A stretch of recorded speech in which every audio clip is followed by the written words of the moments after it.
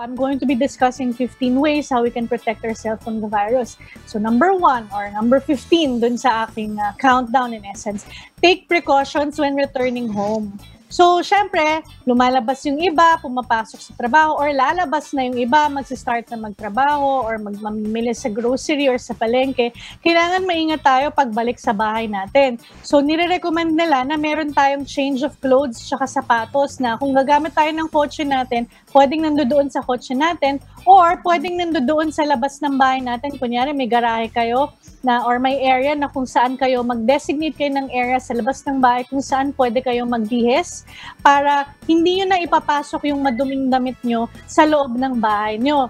Doon sa area na kung saan kayo pwede magbihis, may hamper na doon or kung pwede, diretsong laban na yung mga damit natin para sigurado na hindi mo ipapasok yung virus na nandoon na naiwan o na, nakalagay doon sa damit mo. Ngayon, mm-hmm. kailangan din na kung say, let's say for example, hindi ka pwedeng maglaba agad pagdating mo. So meron kang hamper or yung lalagyan ng madumi mo, kailangan lilinisin mo rin yun after every mm-hmm. every time na tatanggalin or lal, ano yun, uh, mawawalan siya ng laman, kailangan mo rin siyang linisin. Kasi pwedeng maiwan naman doon sa hamper mo yung bacteria or yung virus right. na, Gotta disinfect. Uh, nandoon sa.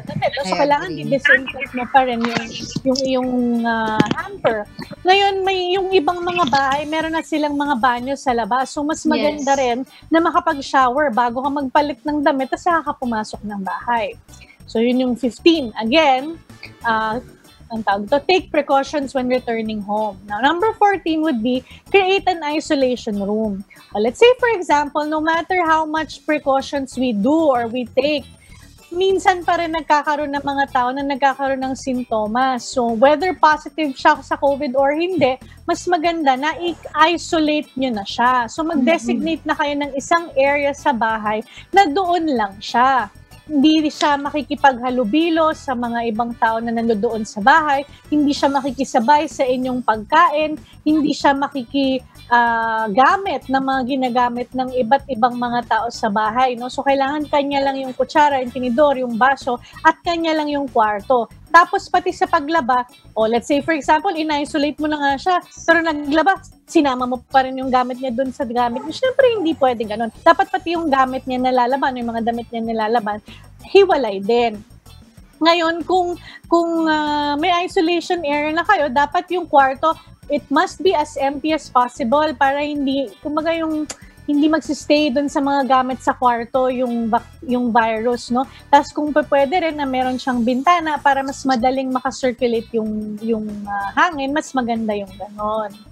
Uh, so yun yung number 14 to create an isolation room.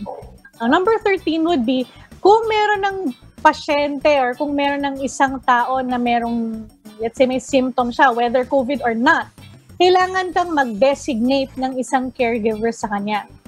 Para silang dalawa na lang yung magkakaroon ng interaction. Siya lang yung pwedeng magkaroon ng contact, siya lang yung pwedeng pumasok dun sa kwarto para malesen yung chance ng spread sa virus. Kasi nga kung oh, nag-isolate ka nga, lahat naman tayo papasok din dun sa kwarto niya, edi parang wala rin. Din, no? Bali wala lang din siya.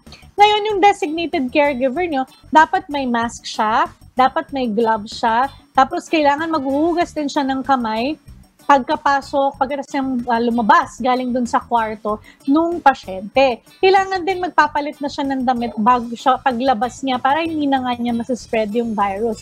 Kailangan din na yung ibang mga tao sa loob ng household magmamonitor ng symptom nila tsaka ng temperature nila daily para masigurado na hindi nila nasa-spread yung virus. Tapos on that note, no, yung sinabi ko na pag maliligo, mas maganda na mainit yung temperature ng hot shower para mas ma-sterilize or mas masanit yung katawan mo. So, mas namamatay kasi yung mga bacteria kapag uh, heated, no?